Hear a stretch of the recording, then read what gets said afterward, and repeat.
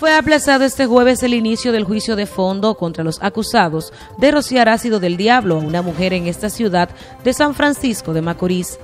Tomás Joendri Brito Paula y Eurijan Carlos Rosario actualmente cumplen prisión preventiva en el Centro de Corrección y Rehabilitación de Vista Valle. Recordamos que la pasada semana el tribunal rechazó el cese de la prisión preventiva por falta de presentación de la resolución que impuso la medida de coerción al inicio del proceso.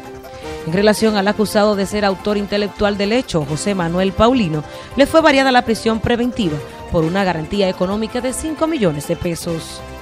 Para NTN, su noticiero regional, Joanny Paulino.